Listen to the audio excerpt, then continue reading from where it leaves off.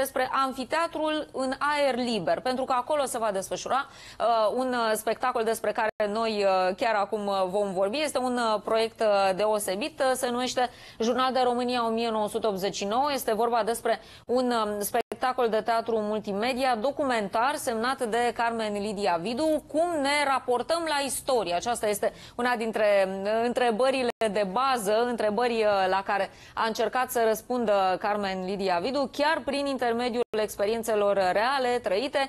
Proiectul acesta, Jurnal de România 1989, se bazează chiar pe experiența actorilor din momentul decembrie 1989. Și alături de noi în platou este uh, autorul acestui proiect, este și regizor, și regizoare și scenaristă uh, Carmen Lidia Vidu uh, și artistă multimedia. Îi mulțumesc foarte mult că a acceptat invitația noastră. Și eu îți mulțumesc cu drag. Și de asemenea, în legătură directă cu noi uh, prin Skype este actrița Oana Pelea. Îi mulțumesc foarte mult că a acceptat invitația și ea ne, ne va povesti propria experiență, pentru că despre experiențe este vorba despre experiență trăită. Este vorba în acest uh, proiect multimedia, spectacol, proiect multimedia, ca să folosim un termen care să înglobeze mai multe uh, desfășurări artistice.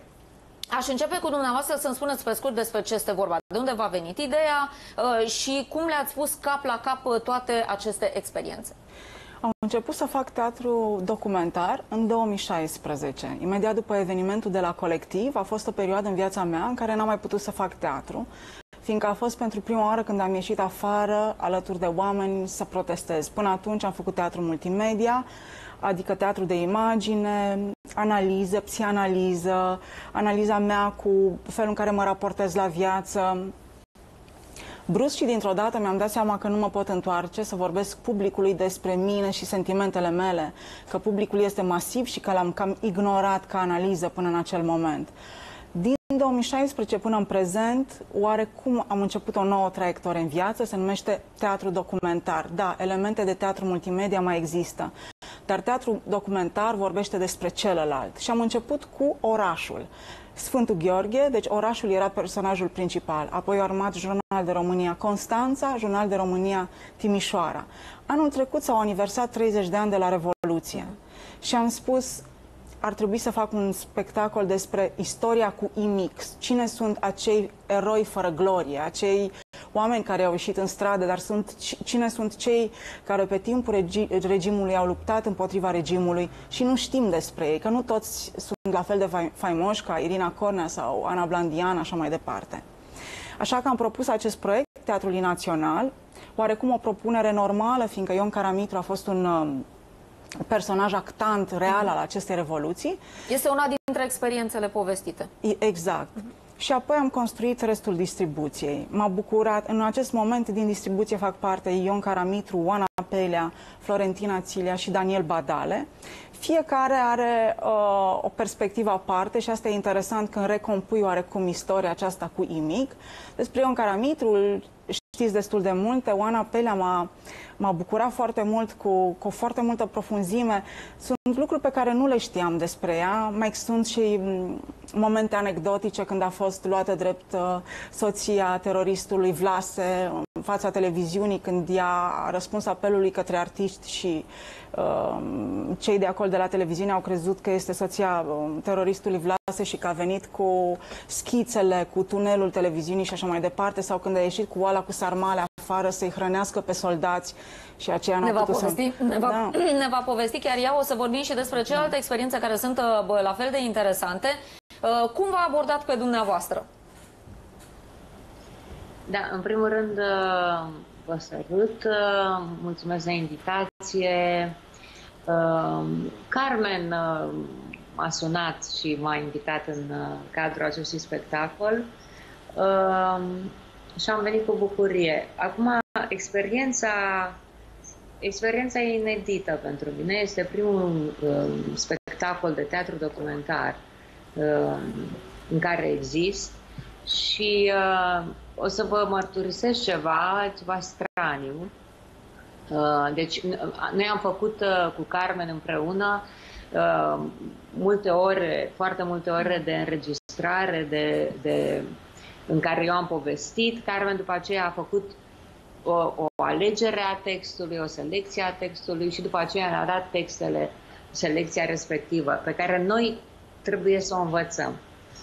Și mi-am dat seama cât de ușor înveți un text uh, de Shakespeare și cât de greu poți să înveți și cât de dificil este să înveți uh, propriul text. E, e, e, e ceva foarte, foarte special și foarte, foarte ți asumi mai greu propriul text decât uh, uh, o poveste de Cehov.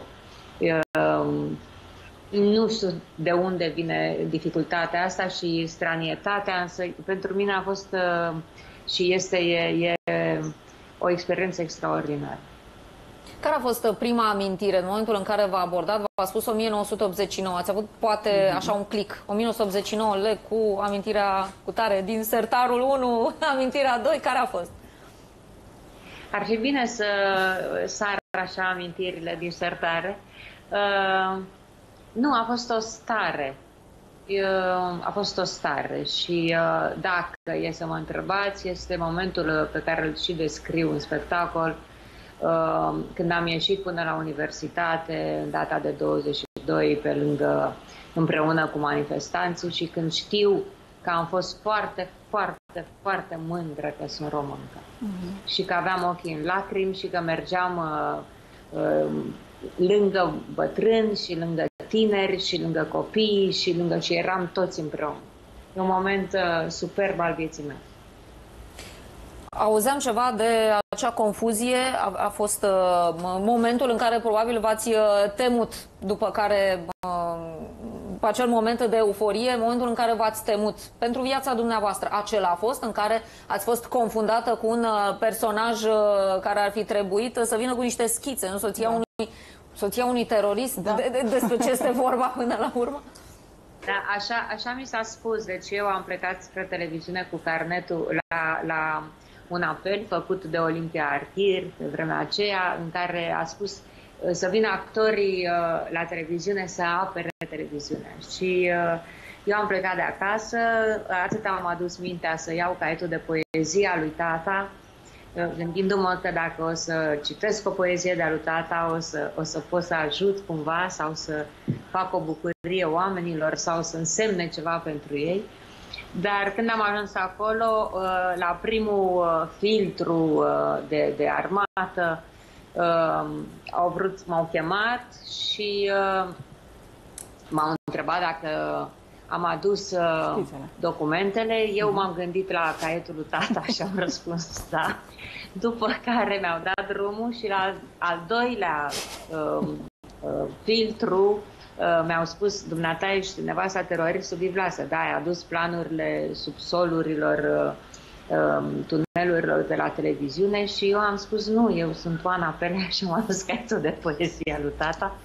După care mi s-a spus, în clipa asta dispar în clipa asta dispar târâși și știu că la televiziune chiar se trăgea pe deasupra capetelor noastre, chiar se trăgea în clipa aia.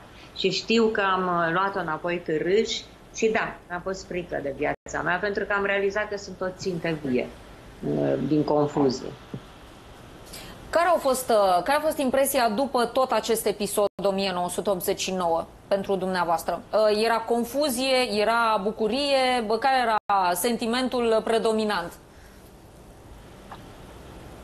Nu, e, e un uh, melanj și de bucurie și de disperare și de confuzie și de ce a fost totuși. Uh, eu vă invit să veniți la spectacol, să vedeți că, de exemplu, părticica mea de de, de intervenție se termină cu, de fapt, cât a fost Revoluție și cât a fost altceva, uh, cu întrebările pe care le avem și astăzi și ne-a tras în noi, 21-22. Din păcate, sunt la fel de valabile întrebările, deci uh, am rămas cu multe întrebări. Nu vă întrebam întâmplător acest lucru tocmai pentru că nu pot să nu fac legătura cu ce se întâmplă cu dosarul 1989. Noi încă nu știm și poate că nici nu vom ști într-un viitor apropiat. Noi poate nu vom prinde un răspuns în legătură cu uh, nenumăratele întrebări uh, de atunci din 1989. Care erau așteptările dumneavoastră um, în momentul 1989 ca actriță uh, care descoperea libertatea? În acea confuzie, în toată nebunia de atunci din decembrie, urmată de nebunia din ianuarie și mai departe, față de uh, Oana Pele de acum din 2020? Uh, păi, din păcate, așteptările mele erau uh, că se încheie această perioadă oribilă din punctul meu de vedere a perioade, perioada comunistă și că ieșim de sub această influență uh, nefastă total pentru România. Eu aștept încă să ieșim definitiv, pentru că nu cred și nu simt și chiar știu, adică vedem cu toții că n-am, n-am scăpat. N-am scăpat până la capăt. Da. Ce am, ce am învățat totuși? E ceva uh, ce am învățat de la um, toată acea dezvoltare din, 1908, din decembrie 1989 sau am rămas cumva cu acea confuzie și cu vălul pe ochi noi ca popor? Că așa, individual, fiecare a avut uh, experiențele lui și vom vorbi despre ele, pentru că toți cei din spectacol au avut câte o experiență deosebită.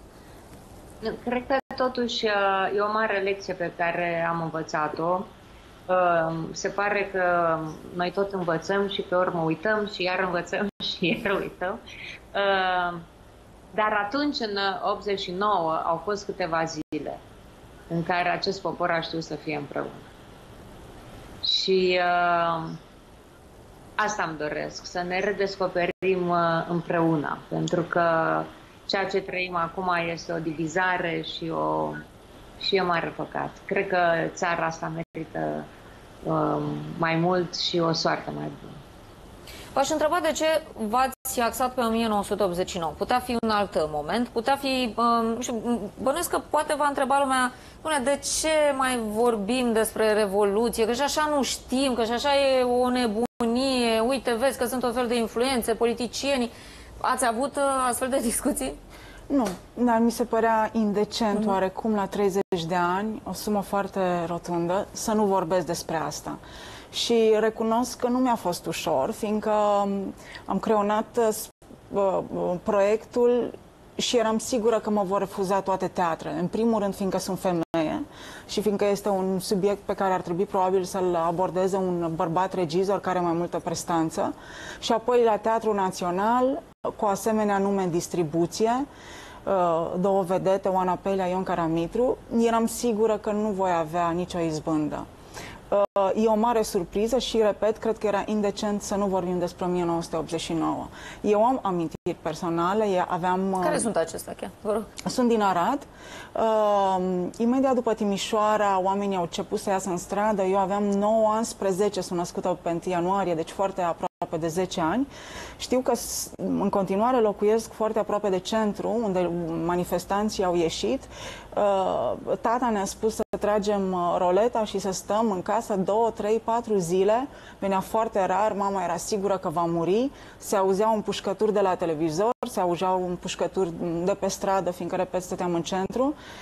Televizorul mergea continuu până atunci, mă uitam doar duminică dimineața la, la desene animate și în fiecare seară la unguri, la un desen animate. Cam asta era contactul meu. Brusc am văzut oameni morți, am văzut uh, ce, uh, procesul ceaușeștilor, pe ei doi împușcați uh-huh. și a fost prima imagine barbară aproape. Apoi oamenii au intrat în casele lor și au început să iasă cu tot felul de sticle de sifon, de Pepsi, de whisky, ne arătau robineții lor care sunt din aur. Adică primul meu contact cu istoria a fost unul foarte agresiv, barbar. Eu aveam un fel de satisfacție aproape sadică când am văzut că cei doi uh, au fost împușcați, neștiind aproape nimic despre ei. Și regret acum că sunt foarte mulți oameni care simt și gândesc la fel cum gândeau o fată de 9 ani. Cred că poporul român ar trebui oarecum să-și cizeleze și să-și educe gândurile și emoțiile și să nu aibă aceleași răbufniri pe care le aveam eu și de care mi-e rușine în acest moment. Da, până da. la erați un copil. Da? Eram un copil, dar cred că încerc să promovez pe rețele de socializare, de exemplu, acest proiect și majoritatea comentariilor sunt agresive, sunt nocive. De ce? În ce sens? Un limbaj nu are rost să-l reproduc uh, și la adresa unor actori, de exemplu, și de adresa Revoluției și la adresa lui Ceaușescu, că e păcat că a murit, uh, că cei care au murit sunt proști și așa mai departe. Adică um, și mă exprim politicos și diplomat cred că sunt la același nivel de gândire și de emoție pe care, pe care le aveam eu la 19 ani. Păi atunci înseamnă că n-am, n-am înțeles nimic. Sunt oameni uh, în continuare, Oana Pelea, care uh, îl regretă pe Nicolae Ceaușescu. Bun, sunt oameni care poate își regretă tinerețea. Că e, e ceva firesc, îți regreți uh, acea perioadă în care te simțeai liber, în care, mă, cât de liber puteai să fii în condițiile acelea. Dar de ce să-l mai regreți acum? De ce să mai faci comparații acum uh, între 1989 dinainte de decembrie și 2020? Să spui că, domnule, era mai bine atunci. De ce ai face asta? Eu nu știu să vă răspund la asta și uh, fiecare e liber să creadă și să răspundă față de istorie și față de conștiința lui așa cum, cum crede. Suntem într-o societate democratică și fiecare are dreptul uh, lui de, de, a, de a judeca și viața lui și istoria acestei țări. Ceea ce cred însă că e important și uh, este uh, valoarea spectacolului lui Carmen este faptul că experiențele fiecăruia dintre noi sunt diferite. Mm-hmm chiar noi cei patru care suntem în spectacol avem o, o altfel de privire, un alt unghi de a privi istoria și de a ne privi pe noi față de istorie. Deci, la întrebarea dumneavoastră nu pot răspunde. Uh, trebuie să întrebați pe cei care încă le regretă pe Ceaușescu și probabil vor găsi argumente valabile pentru viața lor. Care sunt celelalte trei experiențe? Și de ce ați ales pe ceilalți trei? Bine, bă, mă, Caramitru este clar. De ce? Da. Este numele pe care îl legăm de Apărul acele zile, numele Caramitru. Îl legăm. Discutăm și despre Fete că lucrezi, un da. spectacol, da. da. Am să repet, uh, fiindcă nu știu câtă lume va veni masiv la spectacol, dar um, Vadim Tudor este cel care a încercat să manipuleze acest făte că lucrez în spectacol. Apare fragmentul cu uh, arată că lucrez, se lucra la un apel către țară, dar este, a, apare acest moment în, în spectacol. Florentina Țilea este cea care îi recita lui Nicolae Ceaușescu de fiecare dată când venea la Iași. Mm. Uh, de 5-6 ori în viață care l-a pupat. Nicolae Ceaușescu făcea parte din familie, numele ei apărea în ziar, uh, lucra și la radio, la radio mm, Iași puștaică mhm, fiind, mhm, având 5, 6, 7 Pentru ani. a fost un șoc probabil ce s-a întâmplat în 89 decembrie. Pentru toată lumea a fost un șoc, Poate dar ea a privit uh, din altă perspective. Iar Daniel Badale e foarte interesant. Este un actor pe care l-am distribuit în urma discuției cu Ion Caramitru și mi-a spus trebuie să-l cunoști, să stai de vorbă cu el, fiindcă, uite, există o scenă în care eu eram în fața unui tab și pe tab, de partea armatei, era acest actor. Acest actor a venit uh, din Moldova, având Din Botoșani, uh, îl cunosc întâmplător, da, suntem din același da? oraș și ne știm de multă vreme. Uh, a dat uh, o damigeană de vin ca să poată să facă armata în București, alături de Dan Puric, um, care era mentorul lui. Și cu damigeana asta s-a trezit în plină revoluție. L-a urcat în tab, cu armament, cu muniție, nimeni nu i-a spus că e o revoluție, ce se apere, ce se întâmplă și avea ordin era sub jurământ și o, o, o a patra perspectivă foarte interesantă a celui care era de partea cealaltă a baricadei. Cam astea sunt cele patru mm, confesiuni, jurnale. E interesant da. din experiența, uh, cel mai implicat poate în mod concret a fost Ion Caramitru. El din noianul de amintiri pe care le are, poate contradictorii uh, din perioada respectivă, ce a ales să dezvăluie în această, uh, cu această ocazie de teatru documentar? Știm unde a fost, că a venit de la un recital, era, era An Eminescu, venise din, uh, din Cluj, Uh, felul în care a încercat uh, să urmărească Revoluția, să-i mobilizeze pe revoluționari, felul în care aflăm despre um, felul în care a intrat în televiziune și l-a descoperit acolo pe Dinescu, au lucrat la apel. Aflăm apoi cum în comitetul central au fost mai multe grupuri care au încercat să preia puterea, fiindcă, vedeți, Revoluția a fost fantastică, dar n-a avut un lider. Uh-huh. Neavând un lider ea a fost uh, ușor, ușor preluată. În Comitetul Central au fost mai multe grupări care au încercat să preia puterea în cele din urmă. Ion Iliescu este cel care a fost victorios. Cum a intrat în Frontul Salvării Naționale și apoi cum a plecat din Frontul Salvării Naționale. Uh, și relația cu familia în această perioadă. Cam asta este, fără să dezvolui tot ce a ales, acum. Da, da, da, ce a da. ales el din, din foarte multe da. elemente. El a fost un uh, om da. important. Uh, îl vedeam cu toții la televizor, apropo de Îl vedeam faptul că toate da. televizoarele erau deschise da. în acea perioadă în case. Și părerile da. sunt pro și contra în da. continuare. Noi ascultăm confesiunea și e diferită de acelorlalți. Cred că asta este aspectul și cred că nu trebuie neapărat să ne identificăm cu unul sau cu celălalt, dar cred că cunoscându-i, nu mai putem judeca în sens de pozitiv și negativ. Și cred că asta, cred că asta e valoarea documentarului. Cunoscându-l pe celălalt, nu mai poate să-ți placă sau nu să nu-ți placă. Înțelegi și de identifici o realitate. Faci parte din ea, ți-o asumi și asta este o lecție fantastică a maturizării. Să nu mai spui îmi place sau nu îmi place, să spui înțeleg sau nu odată plecat de la acest spectacol, vă asigur că veți pleca un pic mai înțelept și mai în pace cu istoria pe care o trăiți. Dacă ar fi uh, să îi povestiți, Oana Perea, unui uh, tânăr născut după 1989, în câteva cuvinte, uh, ce s-a întâmplat în decembrie 1989, Uh, obiectiv, apropo de, uh, dincolo de mm, toată acea, de tot acel tumult și de mm, experiențele personale, așa pe scurt, uite, să-ți spun, s-a întâmplat așa, așa, așa, așa, așa. Care ar fi desfășurarea, dacă v-ar solicita cineva o astfel de, un astfel de desfășurător al evenimentelor din 89? Păi, uh, nu cred că i-aș povesti nimica, pentru că, din nou, repet, i-aș povesti, aș fi incapabilă să-i povestesc doar din unghiul meu de vedere. Cred că l-aș ruga să se informeze. Și unul din... Uh, sunt cărți, sunt cărți care uh, spun adevărul, sunt uh, uh, materiale video. Iată, este un spectacol de teatru făcut de Carmen Vidu, care o să aibă premiera pe 24 care uh, și din toate puzzle-urile astea, din toate bucățelele astea de, de, de vieți și din toate, un om uh, care vrea să afle adevărul poate afla.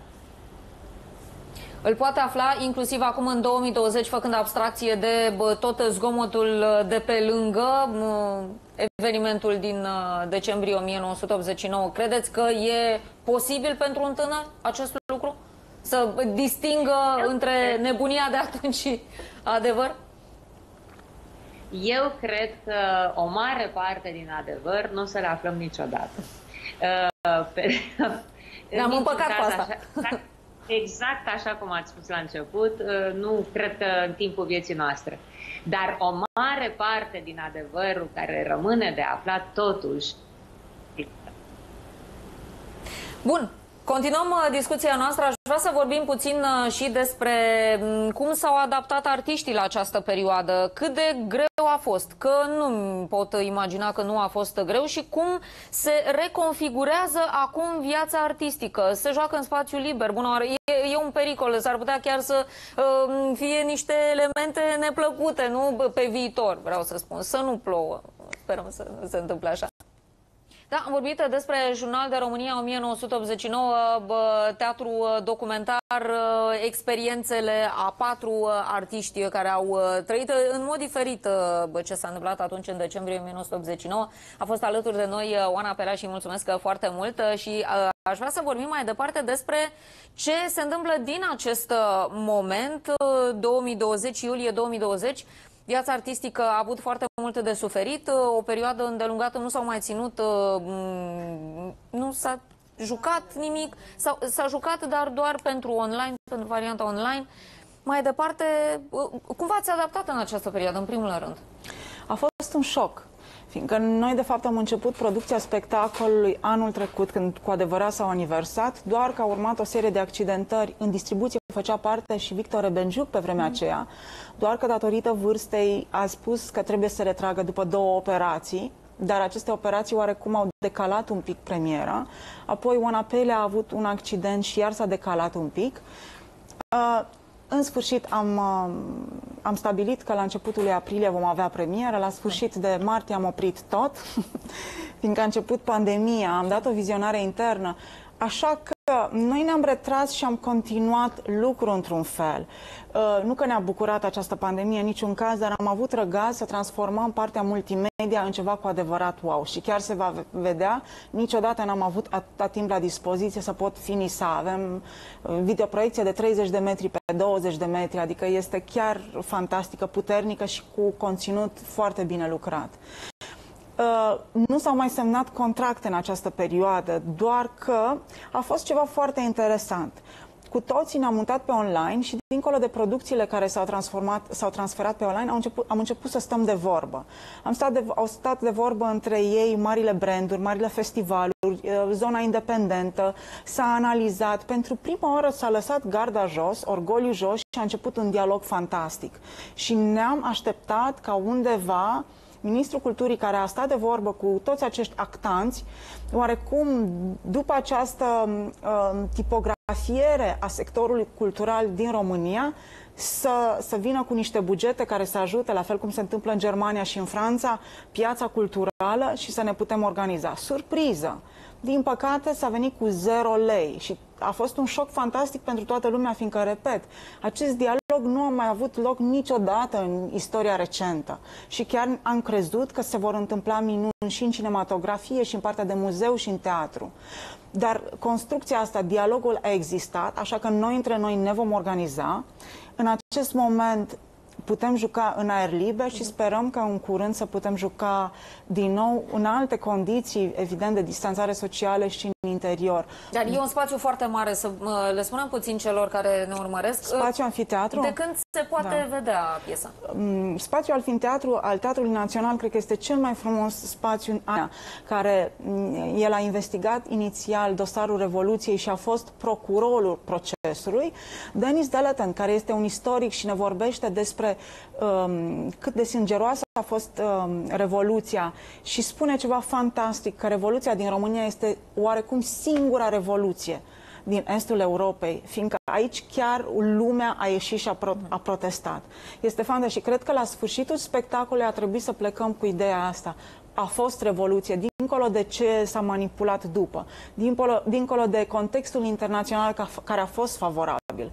Oamenii au ieșit în stradă și în timpul lui Ceaușescu și în timpul Revoluției și trebuie să le oferim cinste. Adică s-a murit pentru Revoluție și a fost cu adevărat. Și un foarte bă, interesant detaliu pe care mi l-a spus uh, în pauză, în mm-hmm. discuția pe care am avut-o în pauză, um, modul în care îi privea Nicolae Ceaușescu, pe care mulți da. le regretă acum, modul în care îi privea pe cetățeni. Cum era? Felul în care m-am documentat în, în, în timpul acestui spectacol mi-a, mi-a conturat o imagine foarte clară. Atât Nicolae Ceaușescu cât și Elena Ceaușescu privea poporul român ca pe o nație de prostăvani, de slugi, de analfabeți care pot fi foarte ușor manipulați. Conta foarte mult pentru ei armamentul și spionajul tehnic, conta foarte mult să cumpere și să fure, de fapt, cercetarea altor minți din străinătate și apoi să-i pună pe români, pe care îi considera foarte proști, doar să execute în fabrici și uzine.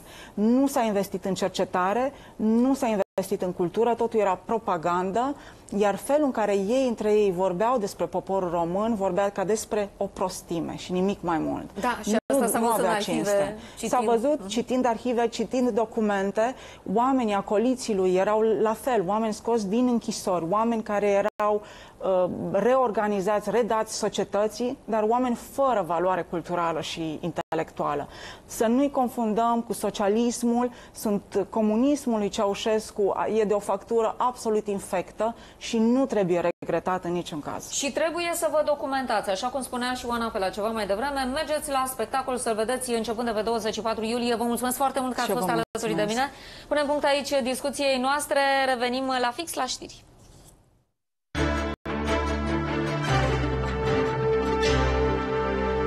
Poartă mască de protecție corect.